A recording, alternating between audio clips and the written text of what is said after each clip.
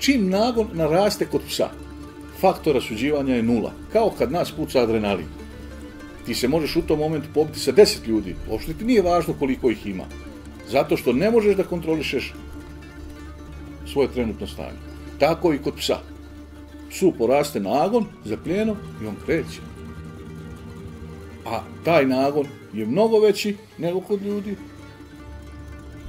a s druge strane intelekt mnogo manji. Kako on sebe da kontroliše? Zato je važno da smo mi ti koji kontrolišemo psa. Uvijek je čovjek krivac. Ako te ne ide u saobraćaj, ako te ne ide u škole, ako te ne ide u, u porodici, ako te ne ide u, sa društvom dobra komunikacija, ako nije tako dalje, uvijek tražiš krivca u sebi. Nemaš razloga da tražiš krivca u nekom drugom. Ako pas neće da te sluša, ti si glavni krivac. Nije niko drugi. Tebe se sve pitati.